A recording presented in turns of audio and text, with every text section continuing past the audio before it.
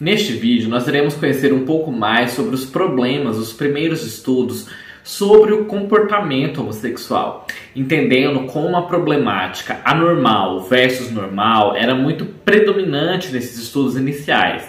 Nós vamos entender também a importância de construirmos uma ciência diversa e que busque ser o menos possível influenciada por valores morais que irão impactar diretamente em como os estudos serão desenvolvidos ou não. E sejam muito bem-vindos ao canal Eterna Busca. Eu sou Jordan, biólogo e mestre em ecologia de biomas tropicais.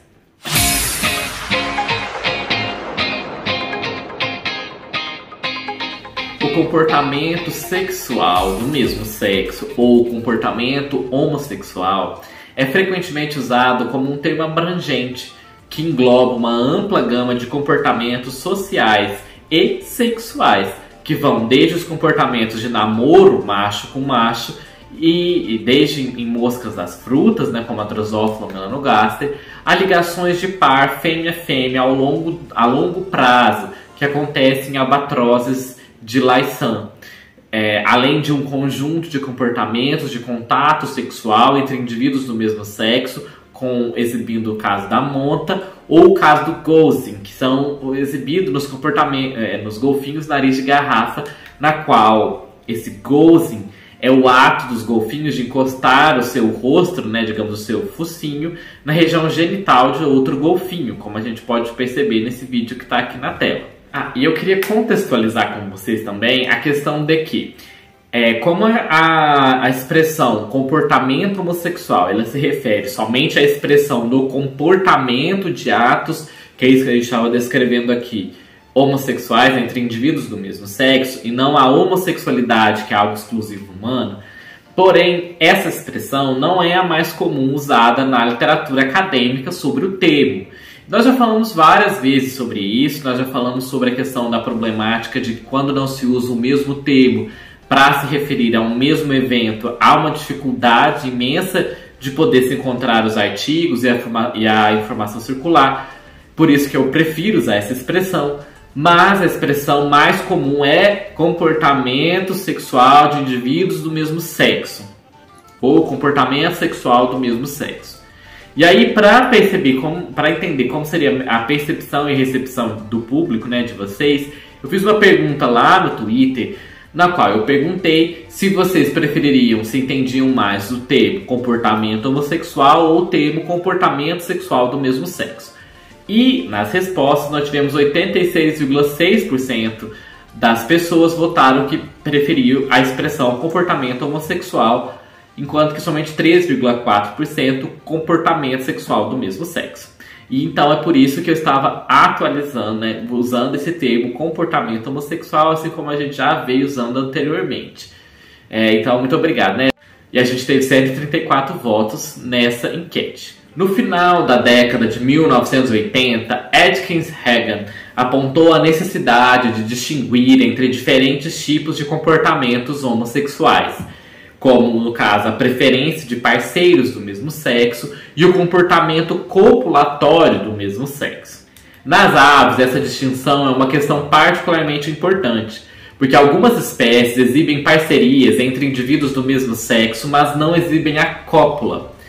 Mas algumas, eh, em algumas outras espécies eles exibem ambos, tanto essa parceria de longo prazo quanto a cópula e algumas exibem apenas a cópula entre indivíduos do mesmo sexo. E vale ressaltar que nós já temos um vídeo específico falando sobre a evolução e expressão do comportamento homossexual nas aves. Depois confere lá esse vídeo que ele é muito legal. Em primatas não humanos, a grande maioria das pesquisas sobre o comportamento homossexual tem se concentrado exclusivamente em aspectos do comportamento copulatório ou sexual com pouca documentação da formação de laços de pares do mesmo sexo.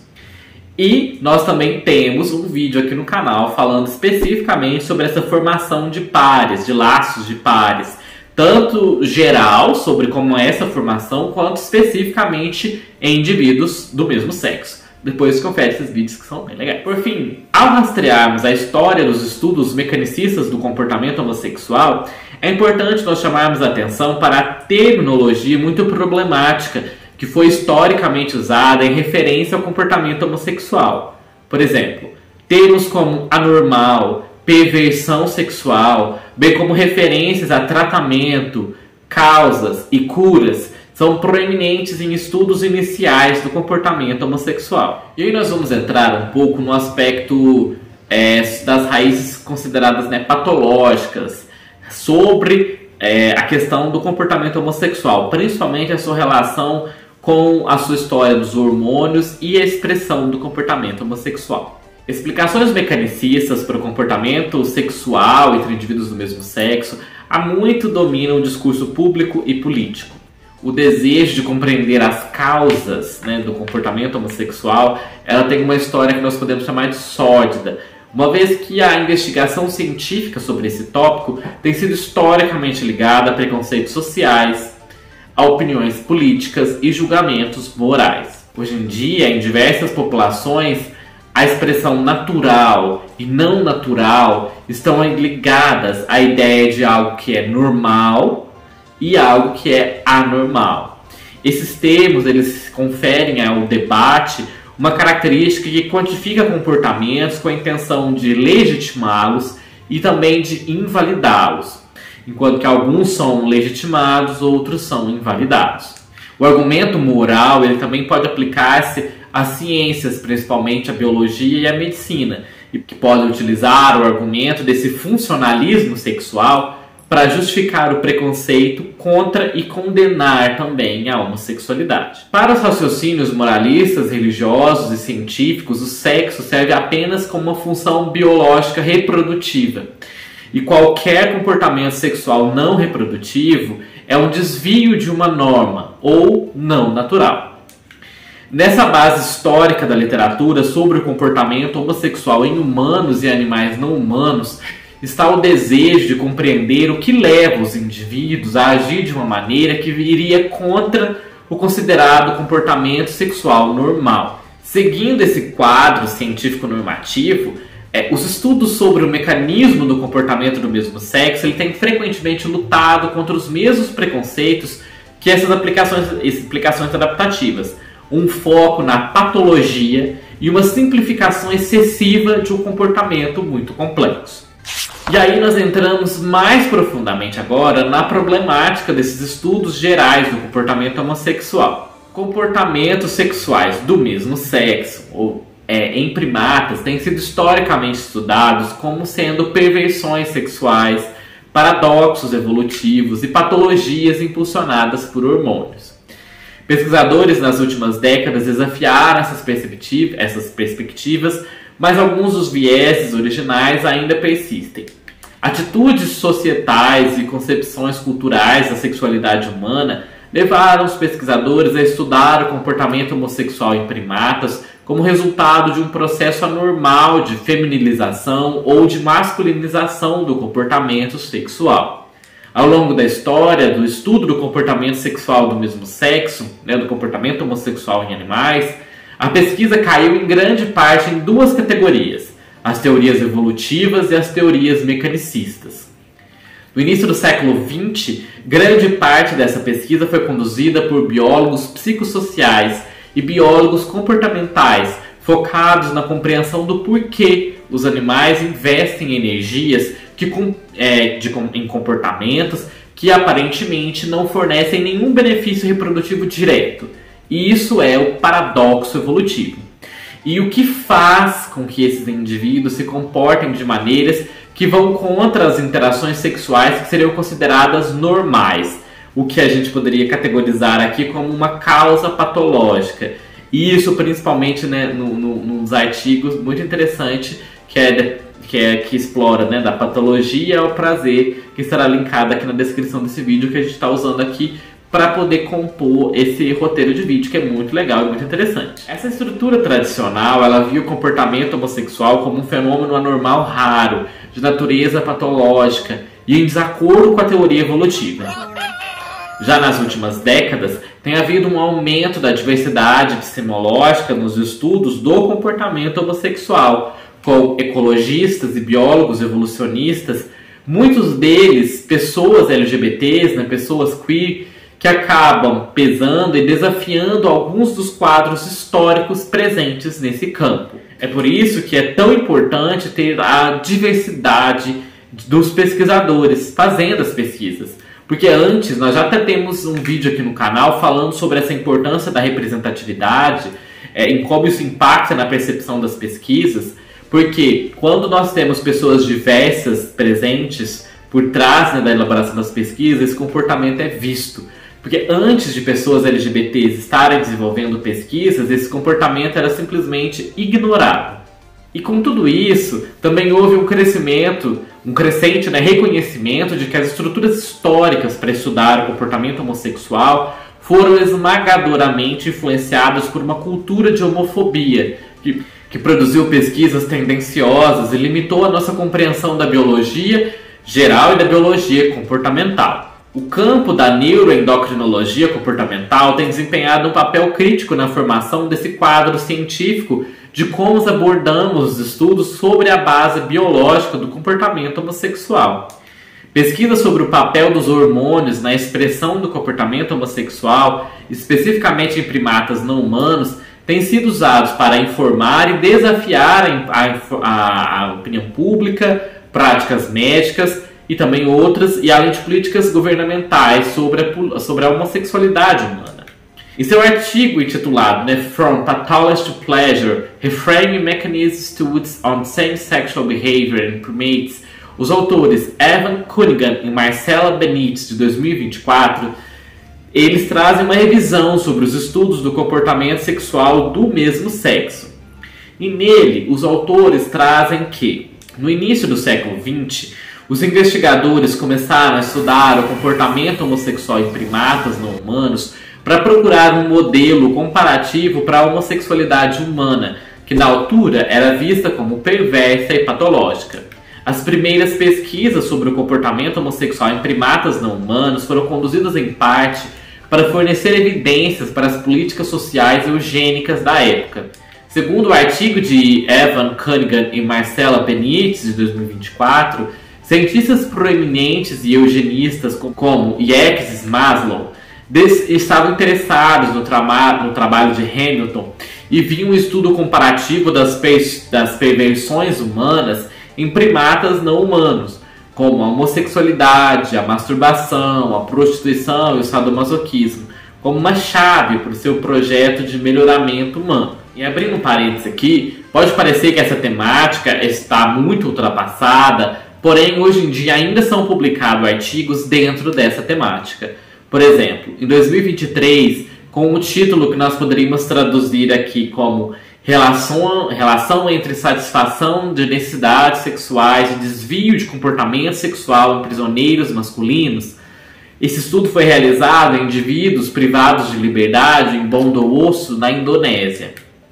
Esse artigo, produzido na Indonésia, publicado em 2023, foi publicado né, em um país bastante conservador e com a clara intenção de conter as expressões de comportamento que, pelos autores, são considerados anormais. Nesse artigo, nós temos o uso de, das seguintes expressões, é, abre aspas, privados da vida sexual cotidiana, os prisioneiros resultarão em desvio de comportamento sexual, onde a distribuição do desejo sexual é sublimada de várias maneiras anormais. É necessário considerar a necessidade de implementação de mecanismos de acesso às necessidades sexuais na prisão, para evitar a ocorrência de irregularidades sexuais em presos do sexo masculino, que neste caso também protegerá a saúde reprodutiva do parceiro legal, esposa do prisioneiro né, quando a gente lê esse tipo de expressão, esse tipo de coisa, parece que a gente está lá em 1940, 1950, mas não, o artigo de 2023. Já na questão das pesquisas hormonais, voltando, né? É, após a pesquisa inicial de Hamilton, os cientistas procuraram uma base biológica para a homossexualidade humana e os hormônios surgiram como a principal área de estudo.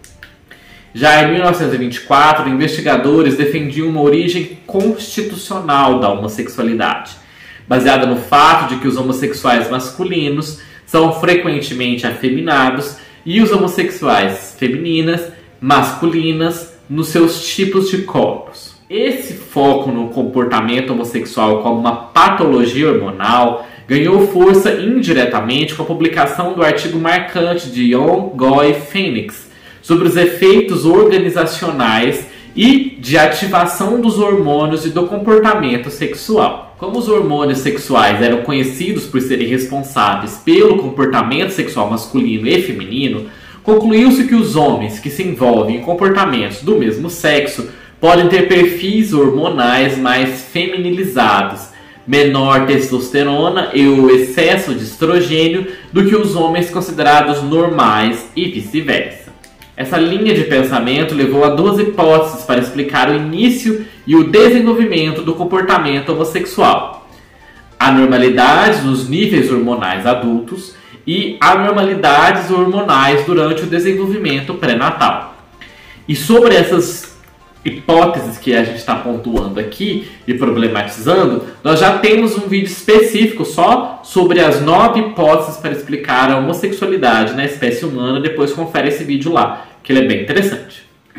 Num dos primeiros estudos publicados sobre o comportamento homossexual em primatas, o psicopatologista clínico Hamilton estudou o comportamento homossexual em primatas não humanos cativos com o objetivo de informar a política social e de tratamento psicopatológico da sexualidade humana, lá em 1914. E aí, isso é importante da gente estar problematizando aqui, porque isso impacta diretamente na vida das pessoas, né? É, e aqui eu não estou necessariamente, né, os autores criticam muitas questões das pesquisas referente à, à abordagem hormonal, mas nós temos pesquisas bastante interessantes posteriores na área é, que quem sabe a gente pode explorar elas aí futuramente. Eu vou deixar indicado aqui também, porque nós temos um vídeo bem legal que ele fala sobre essa questão da influência dos hormônios na sexualidade humana, depois confere ele. Já vamos entrar aqui no aspecto da saúde mental nas pessoas LGBT. A importância de avaliarmos a história de como, de como o comportamento homossexual foi estudado, interpretado é extremamente importante, não só porque conta a história de nós, pessoas LGBTQIAPN+, mas também porque muitas vezes a ciência é usada como base para sustentar preconceitos. É relatado na, na literatura científica um risco de 1,5 a 5 vezes maior de transtornos mentais em pessoas, além de transtornos mentais, suicídio e autoagressão, deliberada em pessoas né, é, lésbicas, gays e bissexuais, em comparação com pessoas heterossexuais, justamente devido ao impacto do estresse de minorias.